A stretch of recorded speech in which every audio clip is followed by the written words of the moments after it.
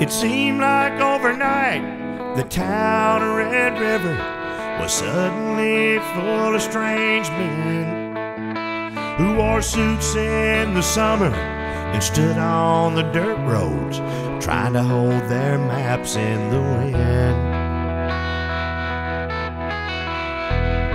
And some of them smiled and some of them didn't. And none of them came back again. After five generations of Rock County Wilsons, the last 50 acres apparently didn't mean a damn thing to them. I stood on the hill overlooking Red River where my mama and her mama lay. Listened to the growling of the big diesel cats as they tore up the woods where I played.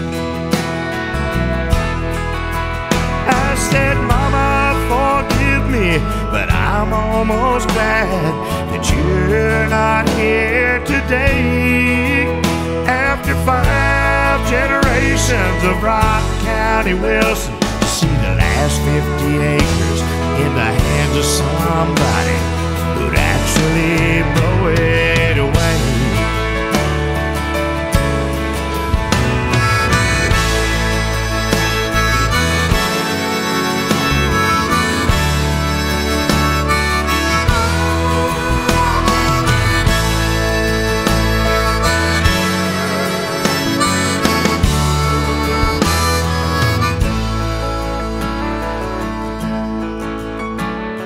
You know the bus station in the town of Red River used to be the general store.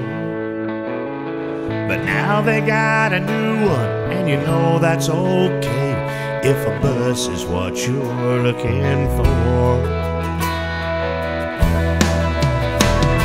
So early one morning when the sun cut red, I got up with the dawn.